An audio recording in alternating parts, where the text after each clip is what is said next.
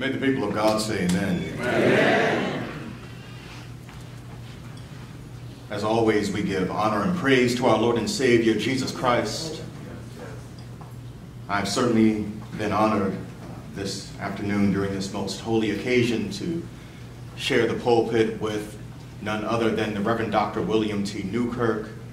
We are thankful for his presence and the presence and support of his church, Oak City Baptist Church, and the Reverend Dr. Terry Henry of Macedonia Baptist Church of Wilmington. We certainly thank God for the support of his church family as well. We are certainly thankful, and on behalf of Peter's Tabernacle Missionary Baptist Church, we are humbled by the support of the entire community and everyone who is here at this moment during our time of bereavement in which we support one another and lift up one another in prayer. Amen. But certainly during this time, I extend, as we all do, my sincerest condolences to the Murphy family. A family which in many ways has helped raise me ever since I was a freshman in high school. And certainly we are glad for the presence of friends and members of this great community, the Iron Mine community. Yes. Amen. I confess as my heart is heavy this afternoon that despite the heaviness of my heart that I have been given an easy task. The task I have been given is an easy one. Not in the sense of trying to craft from mere words a full and apt description of a beautiful life well lived. Not in the sense of grasping to find the right words out of the 171,476 words in the English language, trying to find the right words. No, not in that sense. I have not been granted an easy task in the sense of trying to find the proper words to eulogize a loving father a loving brother, a devoted member of this faith, a loving and supportive cousin, a friend to all of us. No, I have been granted an easy task in the sense of being able to say but a few words that will not be the final words, by no means, but to say a few words about someone who loved the Lord. And Brother Murphy did love the Lord. And just as he loved the Lord, he loved all of us. Just as he loved the Lord, he loved his family. Just as he loved the Lord, he loved his friends. Just as he loved the Lord, he loved his co-workers and those for whom he worked to help rehabilitate and rehabilitate their ability to have a vocation. Brother Murphy, in his prayers and in his encouragement and in his upliftment, helped make all of us the best that we can be. In many ways, he helped me be the best I can be. I would not know it until later, but when I was on the south side of Chicago three years ago, I would later discover that Brother Murphy would tune in every Sunday, that he was sending prayers and support. I won't say much about it, but I will say that you can't make it on the south side of Chicago without prayers. Amen? and in life, it's a beautiful thing when you can always count on someone's smile, when you, can, when you can count on someone's laughter, when you can count on their encouragement, and we can rely upon Brother Murphy's smile. We could rely upon his gentle spirit and his good heartedness and his warmth. And seeking to try to be the best homiletician I can be. And by homiletician, I mean preacher. Sometimes um, I'm accused of possessing a large vocabulary. I stand guilty of that charge. Someone once said, you better have your dictionary whenever you hear him preach. My response is, good news is most smartphones have a dictionary app, so look up the words. because of one thing we can be assured, our ancestors went through too much for us to be mediocre. Amen? As Brother Cornel West said, let the, let, let the phone be smart. We must be wise. And the Bible is a book of wisdom. In fact, there are five books of wisdom in the Bible. There are Psalms and Proverbs and Job and Lamentations, but then there is this one book called Ecclesiastes. We call it that, but Uh, some ancient scholars might refer to it as Kohelet, a Hebrew word for the name of a Hebrew poet and prophet and scribe. And what Kohelet wrestled with in the book that we call Ecclesiastes are three things. He wrestled with the inevitable, right. the things you can't avoid. Wow. He wrestled with ubiquity, something that surrounds you all the time. Mm-hmm. He also wrestled with eternality, things that do not end. Death is inevitable. We cannot avoid it. All right. Death is ubiquitous. It surrounds us. But death is not eternal. Death is temporary. As we all know, and it has been said by speakers greater than myself, death is but a layover. It is not our destination. All right. For the faithful, death is the means through which we get from this side to the other side, but it is not permanent. And Kohelet writing this book that we call Ecclesiastes from the voice of King Solomon, as he wrestles with it, he speaks the words about time that we've heard just a few moments ago. That for everything there is a season, a time, and a matter under heaven. A time to be born and a time to die. A time to plant and a time to pluck up what has been planted. A time to kill and a time to heal. A time to break down and a time to build up. A time to weep and a time to laugh a time to mourn and a time to dance, a time to throw stones away and a time to gather stones together, a time to seek and a time to lose, a time to tear and a time to sow, a time to keep silent and a time to speak, a time to love, a time to hate, a time for war, and a time for peace. But there is also another time of which we should be aware. It is this moment and this time, and this is the time in which we honor the life of our dear brother Anthony. This is the time in which we honor the love that he has shown to all of us and the love that we carry with us. For we can follow his example of how to be a good friend, of how to be a good co-worker, of how to be a good neighbor, of how to be a faithful member of this faith that we call the Christian faith. Brother Murphy spent his life serving others and also serving the great state of North Carolina, a state in which our motto in the Latin is esse quam videri, which means to be rather than to seem.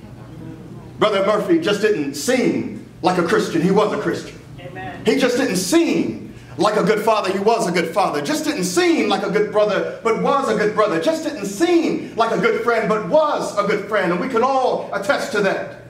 He just didn't seem like an inspiration. No, he inspired all of us. And very unironically, the author of Ecclesiastes says a few more things about work and says, What gain have the workers from their toil? I've seen the business that God has given to everyone to be busy with, and He's made everything suitable for its time. Moreover, He put a sense of the past and the future into their minds, yet they cannot find out what God has done from the beginning to the end. But I know that there is nothing better for them than to be happy. And to be happy as long as they live. Moreover, it is God's gift that all should eat and drink and take pleasure in all their toil. Brother Murphy took delight in his life and in his work and in loving all of us. Yes. I visited Brother Anthony at Duke Medical Center it's now been over a decade ago. I, I received a call at home one night and I was told it was an urgent matter. I'll be honest, I was on my way to Durham and I'm, I'm glad I got another call to tell me to go to Raleigh. I didn't even know there was a Duke Medical in Raleigh. Because, because I'll be honest, I was born as a Tar Heel. I am a Tar Heel. I try to stay away from anything that has the word Duke in the name.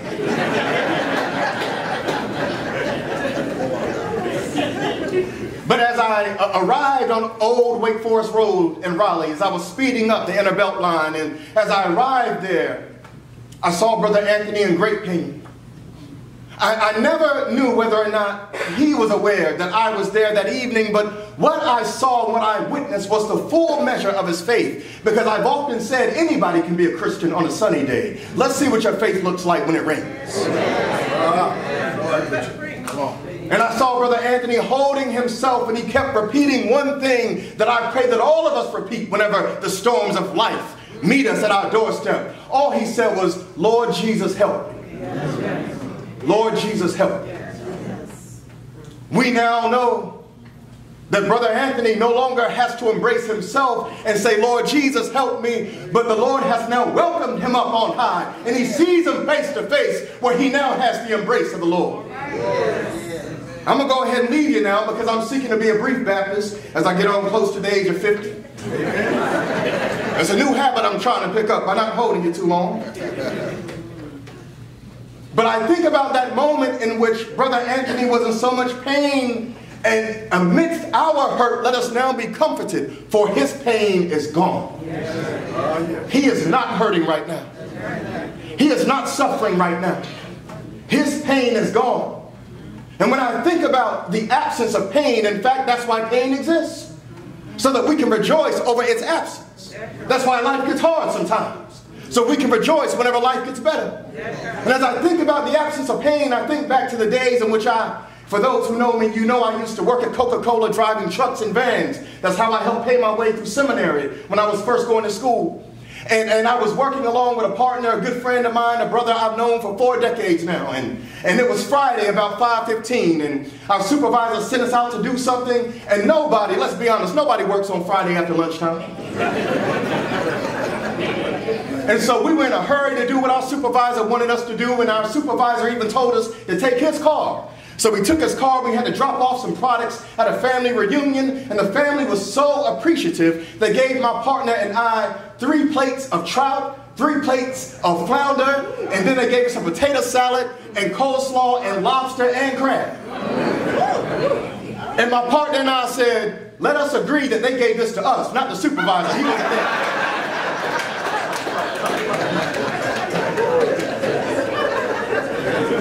As we returned to the plant, excited to get to that lobster and crab and potato salad and coleslaw, we were in such a hurry that as we were locking up the car and going back to give the key to our supervisor, my partner said to me, you have the key, don't you?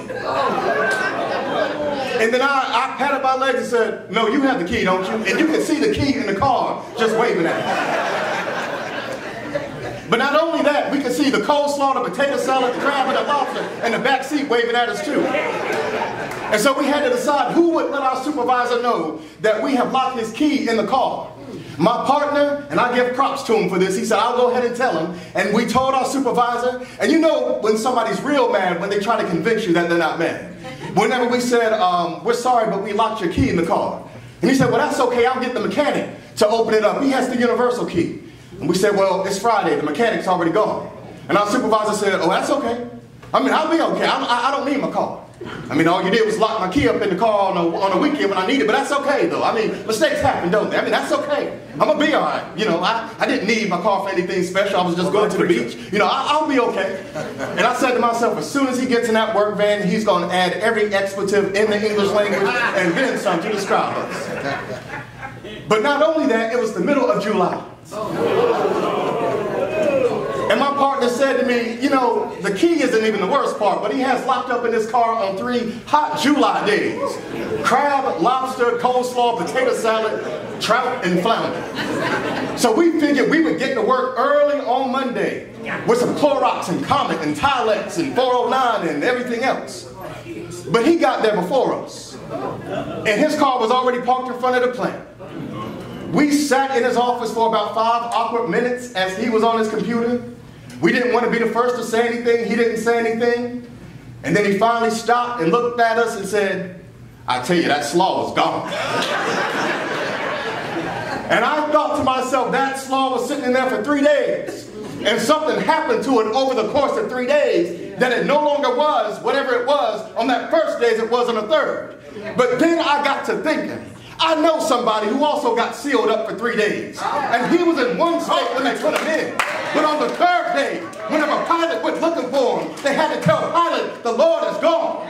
And because he's gone, that means our pain is gone. Ever since that tomb was empty, our suffering is gone. Our agony is gone. We can be assured now that Brother Anthony's on the other side and that he's in a place where sickness is no more, where death is no more, where hurt is no more, where his pain is gone. And because his pain is gone, that means joy is here. That means happiness is here. That means mercy is here. That means grace is here. That means celebration is here. And may all of God's people say amen. Amen.